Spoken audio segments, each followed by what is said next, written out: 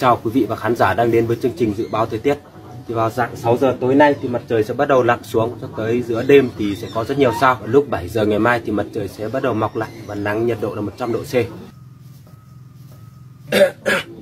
Ờ, bác có nước uống không? Trời ơi, thằng này mua về tốn điện rồi tao còn chưa nói mà tốn thêm cả nước thì vợ con tao ăn gì? Ờ, mua về để học cách làm giàu chứ không phải mua về để xin sở thế này đâu.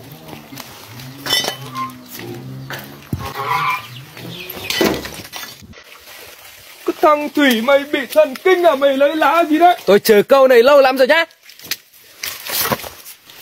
À bác Nam ơi Bác thông cảm cho cháu là vì hôm trước là cháu lỡ làm gáy răng bác nhá. Cứ bỏ qua đi hàng xóm với nhau. Bác không để bụng đâu.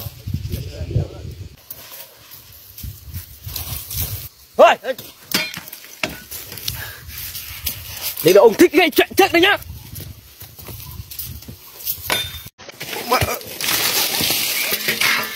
ơi ơi Hàng xóm với nhau cả mà sao lại làm thế? Phải làm như thế này này. Xin lỗi bác nhá. Thằng này mày cố ý làm à? Hả?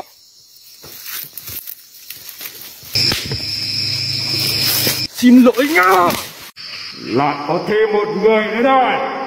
Ủa, Bỏ ra. Tôi đã qua đời đó tôi xuống đây quay video ạ. Ai đã xuống đây thì đừng quay về nhá. Check tôi nhá Thế cháu.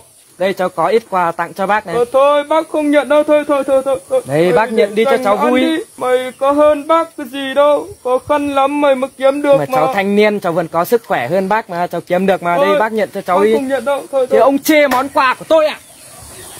Tao không cho đây Làm gì được tao? Ờ, ông già này. Thôi thôi thôi thôi bình tĩnh bình tĩnh. Đây cầm cái này lên làm thế này này. Đấy thế này rồi Thằng Ân thì mày cho bác nợ vài hôm Rồi mai kia bác trả nhá. Rồi bác có mấy đồng bạc bác giữ lại để ờ, con cháu ờ, đốt xuống suối vàng đi. Ê, Ông kia! Cảm ơn nhá. Bỏ ra ông này ơ tôi tự đi được. Tôi có phải được cơ quan đâu mà dắt chân dắt tay nhỉ? Mấy ông kia tập trung mà làm đây. Làm đi làm đi làm như là chức công an là có quyền lắm ấy. Nhìn mặt thế kia có khi là còn nhận hơn tù nhân ấy. Sau này ra tù chưa chắc ai hơn ai đâu. Ông kia vừa nói cái gì đấy? Nhanh cái chân cái tay lên. Có được ăn đầy đủ đâu mà làm nhanh.